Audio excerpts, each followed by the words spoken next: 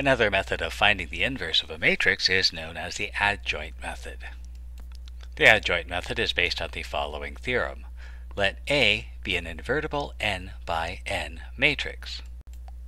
Then the inverse of A is 1 over the determinant times the transpose of some matrix M, where the components of M are the cofactors of the original matrix. Remember, cofactors showed up when we tried to find the determinant. We might say that the inverse is the transpose of the matrix of cofactors scaled by the determinant.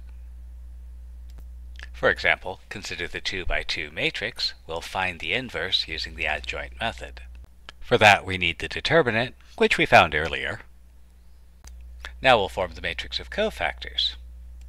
Since the cofactors will be the minors of each entry multiplied by plus or minus 1 depending on where in the matrix they are located, it's convenient to set down the pluses and minuses first and then compute the determinants.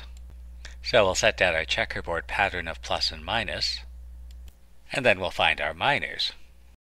So the first row, first column entry, we'll cross out that row and column, and the minor will be the determinant of what's left over, which will just be negative 5. The first row, second column entry, will cross out that row and column, and the minor will be the determinant of what's left over, 4. For the second row, first column, we'll cross out that row and column, and the minor will be the determinant of what's left over, negative 3. And for the second row, second column entry, we'll cross out that row and column, and the minor will be what's left over, 1. Now we'll incorporate the signs to get the cofactors, and we'll copy down this step. transpose this matrix of cofactors. And at this point, we can either write the inverse as 1 over the determinant times the transpose matrix of cofactors, or we can go one further step and multiply the terms of the matrix by 1 over the determinant to get an expression for the inverse matrix. What if we want to find the inverse of a 3 by 3 matrix? As before, the inverse will be the transpose of the matrix of cofactors multiplied by the reciprocal of the determinant. For reasons that'll become apparent, we'll calculate that determinant last. We'll set up our checkerboard of plus and minus, and find our minors. So for the first row, first column, we'll cross out that row and column, and the minor will be the determinant of what's left over. For the first row, second column, we'll cross out the first row, second column to get the minor. First row, third column, we'll cross out the first row, third column, and the determinant of what's left over will be the minor. We'll do the same thing for the entries in the second row.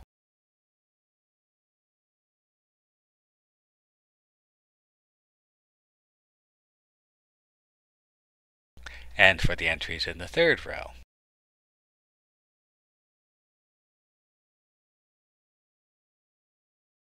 We'll evaluate all of the determinants.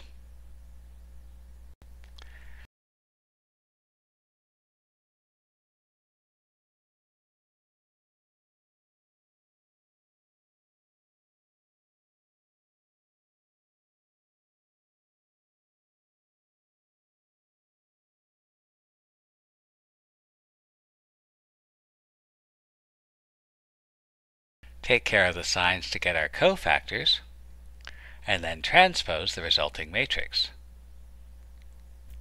Remember, we can think about the inverse as being the transpose of the matrix of cofactors scaled by the determinant. So if we can figure out what that scaling factor is, we'll know what the determinant is. So notice that if we multiply the original matrix times our transpose of the matrix of cofactors, the first row of the original times the first column of the transpose of the matrix of cofactors is going to give us an entry of 10. And what that means is that the determinant of the original matrix must have been 10 if it's anything at all. and so we'll include that as a factor, which gives us the inverse of the original matrix. It's probably a good idea to verify that this actually is the inverse. But you don't really need to because this is on the internet and it must be true.